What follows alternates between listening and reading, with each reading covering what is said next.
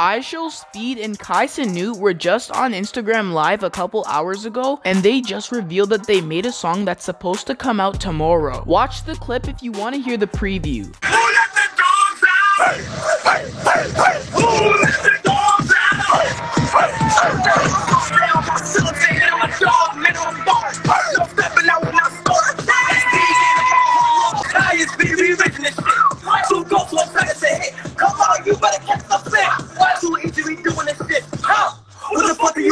Go to two four plus no race